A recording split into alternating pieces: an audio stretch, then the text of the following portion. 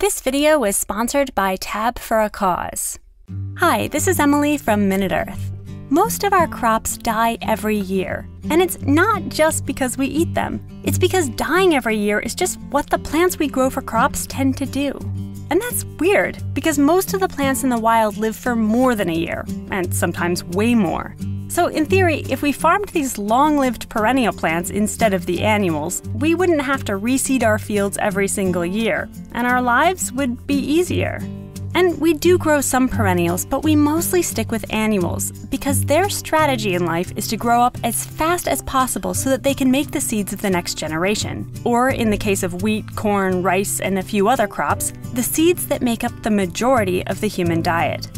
Perennials, on the other hand, take the time they need to grow up strong and build big root systems that help them survive longer term, which means they aren't really in a rush to reproduce. So, any animal waiting around for a perennial to pump out some seeds to snack on might end up waiting a long time.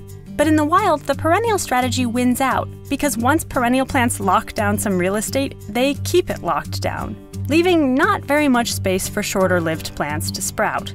So, in general, it takes an event like a fire to clear the field for annuals and allow them to take over. But because we humans have grown such an appetite for annuals' abundant seeds, we're willing to step in and do a lot of that field clearing, helping these short lived plants crop up in places they never would have on their own, all across our planet.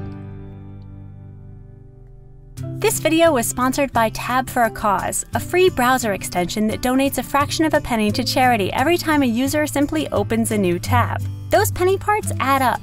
Tab for a Cause has already raised almost half a million dollars for charities like Water.org and the Foundation to Decrease World Suck. Plus, Tab for a Cause just updated its extension with faster page loads and even more beautiful backgrounds. If you aren't tabbing for a cause yet, join us. Click the link in the description to download Tab for a Cause now.